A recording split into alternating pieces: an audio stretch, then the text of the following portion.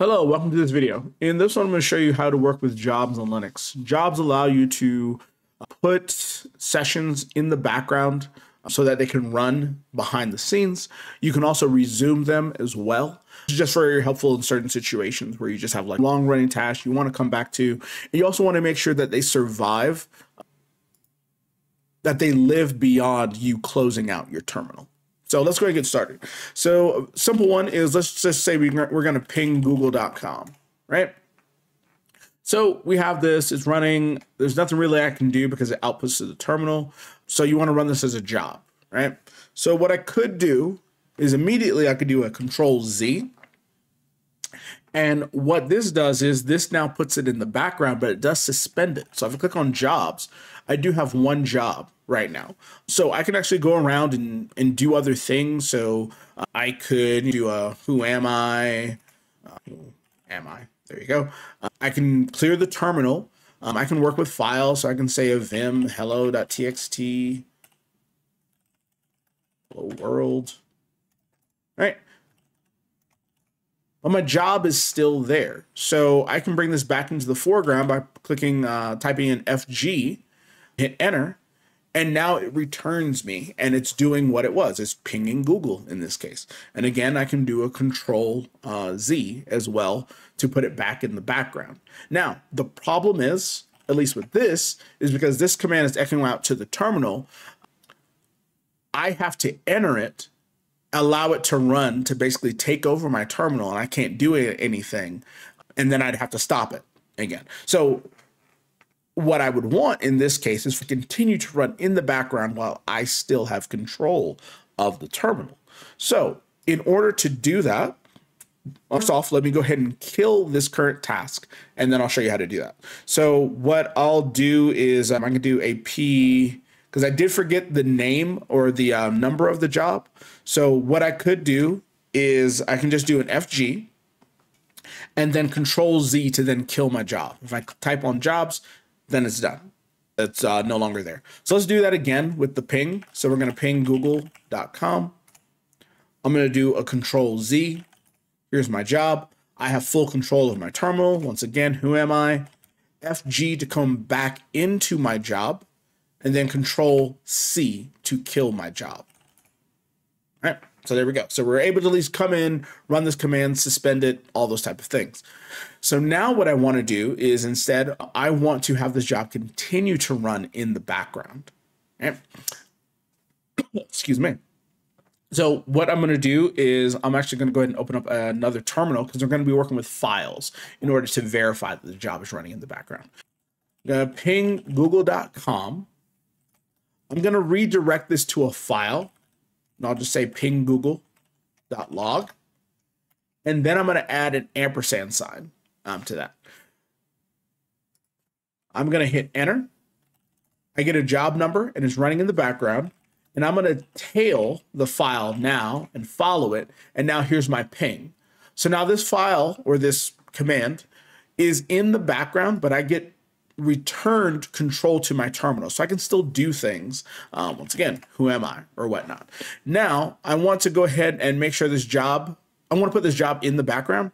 So what I can do is do an FG and then control Z to suspend it, just like we did before. So now the job is in the background.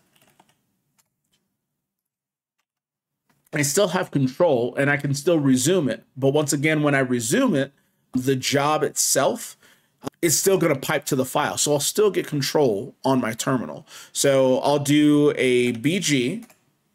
There we go. And here we go. And you can see now this file is now being updated once again because it's now running and it's piping to the file. All right. So that's one way to, that's another way how to work with jobs, in this case, to pipe it to a file. Another way to work with jobs is there's a command called no hup. This is pretty much going to do what we already did when we pipe to a file, uh, but it's going to take care of that piping for us. It's going to create a specific file. So no hup is the command. And once again, we'll do a ping google.com and we need to make sure we run that ampersand sign in that case. All right, so now it's in the background and I can do a tail and I'll follow the file. It's called nohup.out. And the same thing is applying. Um, and over here in my terminal, I did need to hit enter to get control back. Um, and we can see it's in um, it's in the background, but it, it's running. And actually, both of these tasks are running. Now, I'm actually glad I have two jobs here. Uh, so what I can show you is how you can stop a specific job or suspend a specific job. So what I want to do is, let's say I want to stop job one. Because it doesn't have this plus sign, you do need to put the number of the job with jobs, the plus just indicates the last job you interacted with. So since the two is the last job I interacted with, if I just did an FG without anything, I would go directly to job number two. But because I want to go to job number one, I need to do a percent sign one. And now I'm within the job and I can do a control Z. And now that job is suspended, but job two is running, which we can see over here. Now let's go ahead and suspend job two.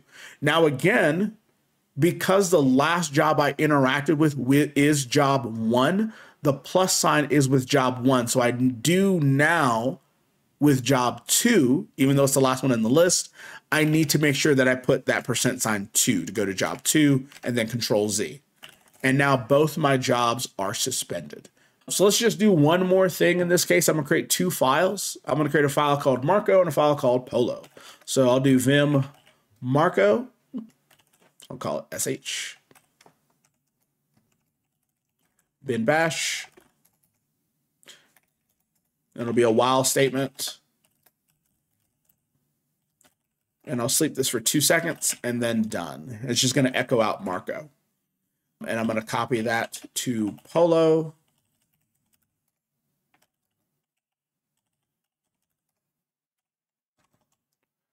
And then let's go ahead Polo, and this will be five seconds.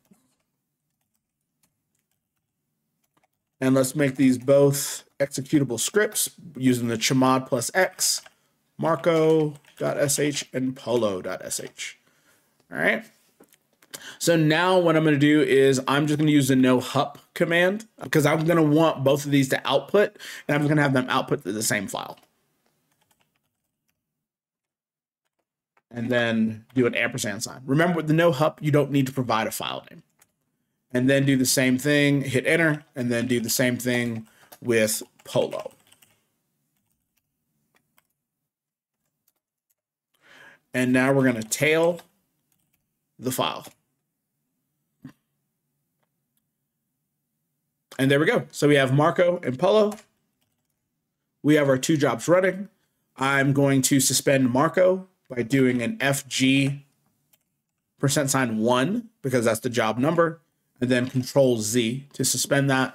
And now it should end up just getting Polo in the response because Polo is the job that's running. And then once again, go ahead and have Marco running by doing the FG. No need to put the number because it has the plus sign on the job. Now it's in the foreground.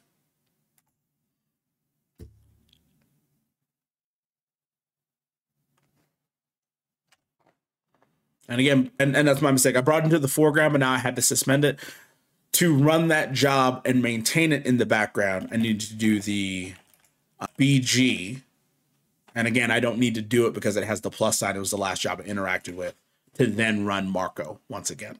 So there we go. Now I have Marco Polo. All right. And let's go ahead and kill those jobs by going FG Z, FG, Control Z. Oh, Control C.